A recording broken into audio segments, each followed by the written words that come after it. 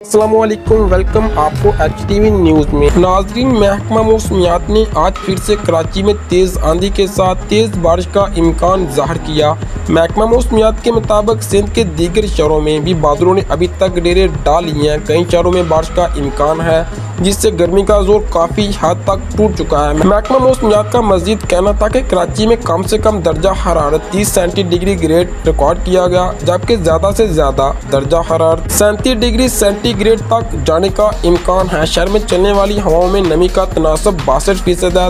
नाजरीन, दूसरी जनब जनूबी पंजाब शुमाली मशरकी बलोचिस्तान, गिलगत बल्दिस्तान और कश्मीर में भी बारिश की पेशगोई की। नाजरीन, आपको फिर से बता दें, महकमा मौसमियात ने आज फिर से कराची में तेज आंधी के साथ साथ और तेज़ बारिश का इम्कान ज़ाहिर फिर से कर दिया। अगर दोस्तों आपको ये वीडियो पसंद आए तो लाइक कीजिए, चैनल को सब्सक्राइब कीजिए। मिलते हैं नेक्स्ट वीडियो में। अल्लाह हाफिज़।